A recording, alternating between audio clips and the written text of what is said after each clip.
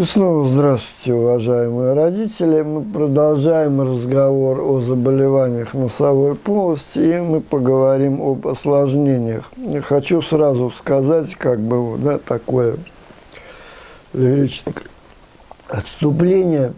Э, если э, у вас возникнут какие-то вопросы или э, какую-то вот тему непосредственно э, проблемы вашего ребенка я не э, осветил, не раскрыл, то, пожалуйста, обращайтесь, э, пишите, звоните.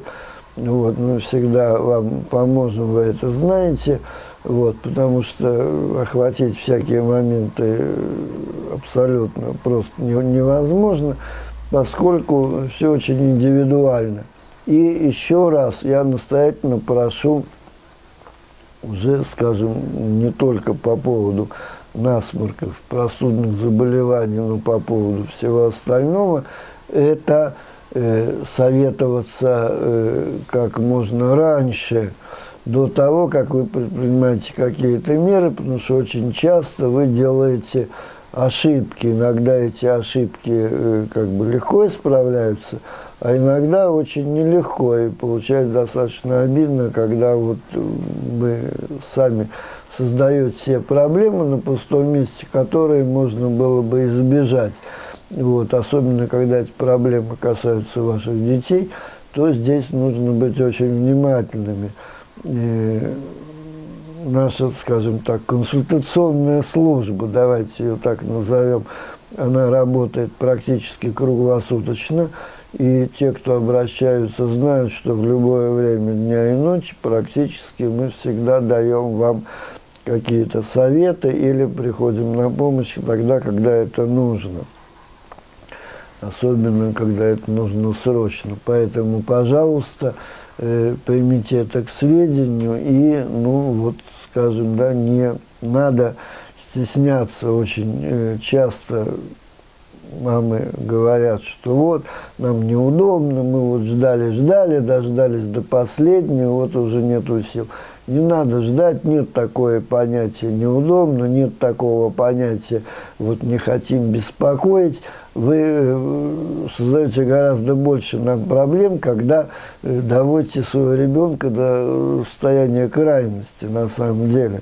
Поэтому лучше обращаться сразу, это гораздо проще решается.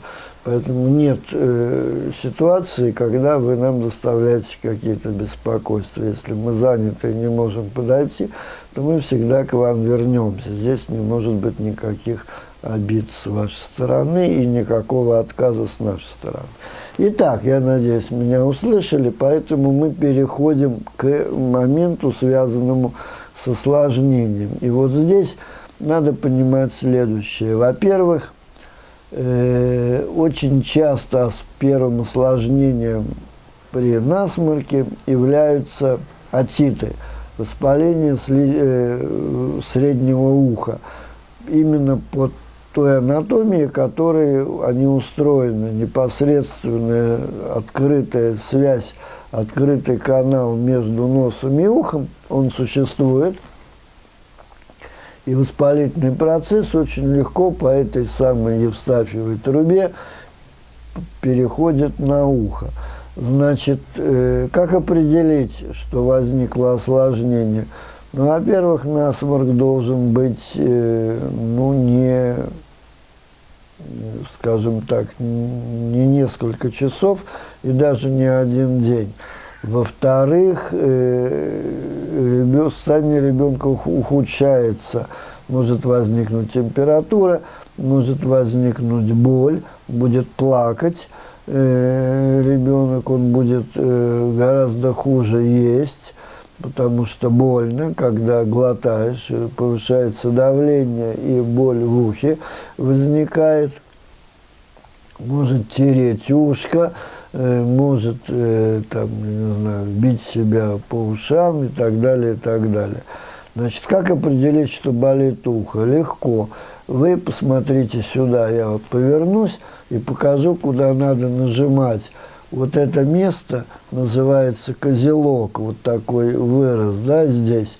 Вы нажимаете, э, ну, лучше всего средним пальцем, достаточно легко нажимаете на козелок, отпускаете палец и смотрите реакцию. Если ухо болит, ребенок дернется. Он не обязательно будет плакать, не обязательно, но первая реакция на боль, он дернется. Вы нажимаете на второе ухо, реакции никакой нет значит, соответственно, или можно сделать по-другому немножко. Можно нажать на оба, и в ту сторону, в которую ребенок дернется, это будет болевой, э, болевая реакция. Значит, есть воспалительный процесс.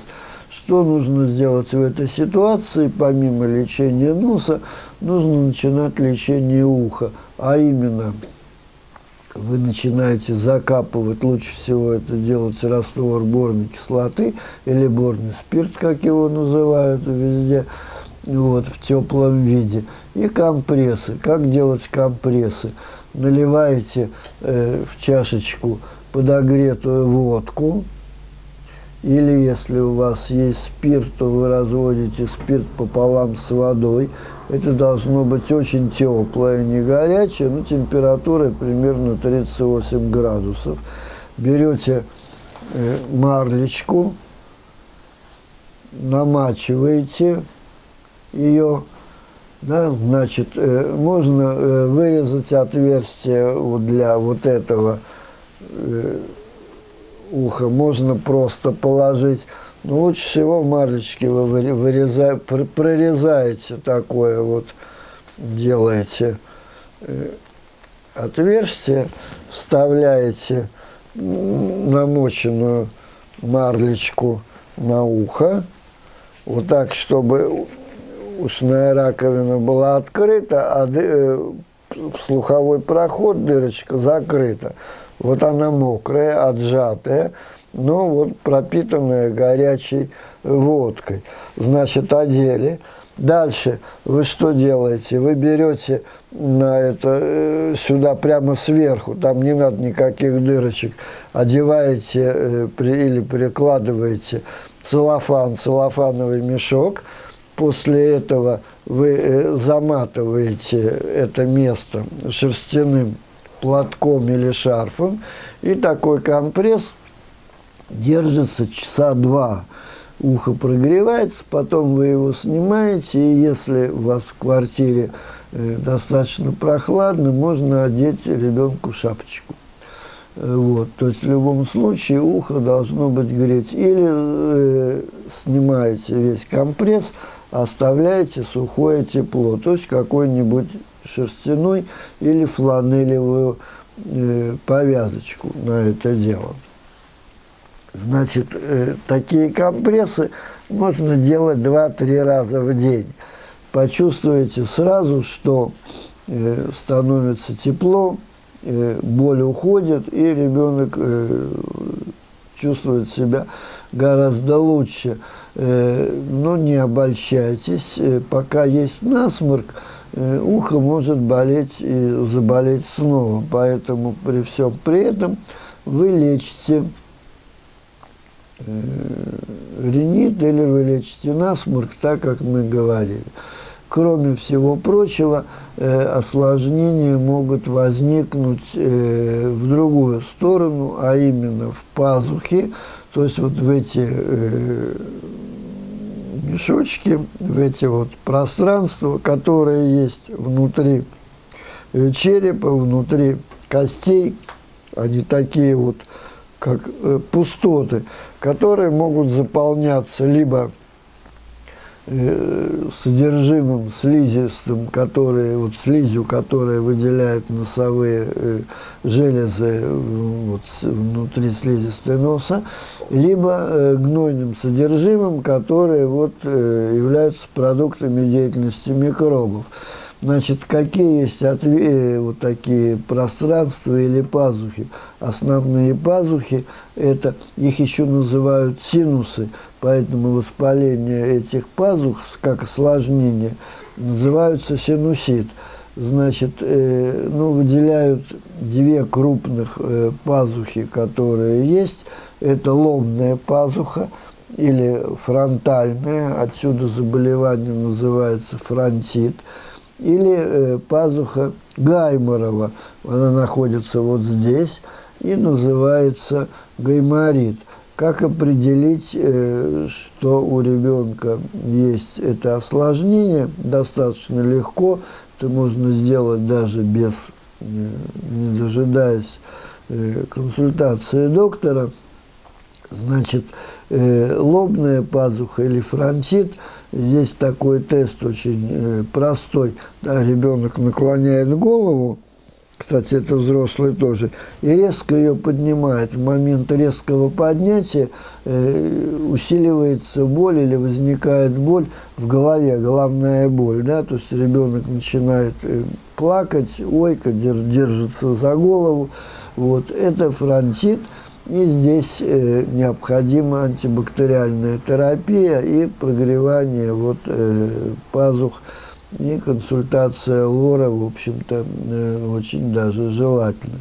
При э, гайморите или гайморовой, воспалении гайморовой пазухи э, тест еще проще. Вы берете вот скуловая кость, середина, вот здесь она примерно, и пальцем стучите, легко постукиваете по этой э, кости, в глубине ее находится гайморова пазуха. И если в этот момент ребенок усиливает беспокойство, начинает плакать, отталкивает вашу руку, ему больно, это э, гайморит, это осложнение.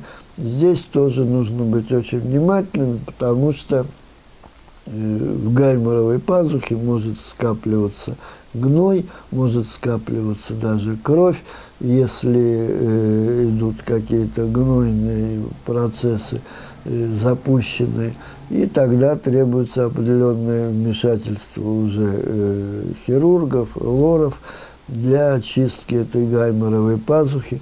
Чтобы этого не допустить, нужно очень внимательно э, как бы вот следить за ребенком и стараться эти осложнения предотвратить. Для этого не нужно запускать насморк. Надо заниматься с ним э, с, с, э, сразу после возникновения. Значит, э, в ситуации, когда ребенок болеет довольно часто и как бы нет аденоидов, а насморк возникает очень часто – можно в э, так называемый светлый промежуток, то есть в ситуации, когда нет э, проблемы, начать немножечко укреплять, закалять слизистую оболочку носа. И наиболее э, такой вот хороший действенный способ – это э, промывание носа э, соленой водой.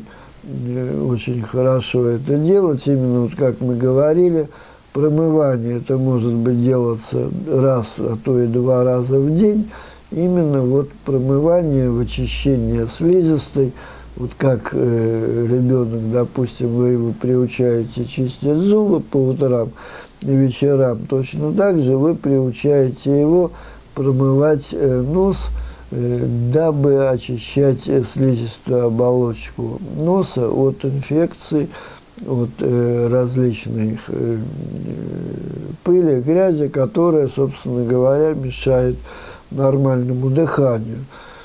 Я уже не говорю о том, что носовая полость, она, в общем, э, является первым э, органом дыхательной системы, и нарушение ее полноценной деятельности, она влечет за собой сбои правильном дыхании у ребенка, и, соответственно, это э, влияет на его состояние, на его самочувствие, снижает иммунитет и прочее, прочее. Поэтому ухаживать за полостью носа нужно ничуть не э, меньше, ничуть не реже, чем за полостью рта. Поэтому будьте в этом плане внимательны. Вот, э, опять же, если что-то вы не поняли, если какие-то э, моменты. Кстати, вот э, я не зря сказал о э, солевых промываниях, но вот э, в случае здорового носа не нужно промывать э, содой, потому что сода сушит, и вы подсушиваете слизистую и как бы провоцируете э, нос на то, чтобы он э, вот стал э, заложенным. Поэтому здесь только э, соленая вода морская. Вот. Э, о проблемах, связанных с горлом, с миндалинами и прочими делами, мы поговорим с вами позже на наших следующих встречах. Вот, а сегодня я с вами прощаюсь. Надеюсь, что э, вот наша сегодняшняя встреча вызовет, как, помимо э, той информации, которую вы получили, вызовет какие-то вопросы, какие-то обсуждения, какие-то э, вот, просьбы о рекомендациях. Пожалуйста, еще раз повторяю, что мы всегда готовы обращайтесь, э, высказывайтесь, и мы будем рады нашей с вами постоянных, постоянным встречам.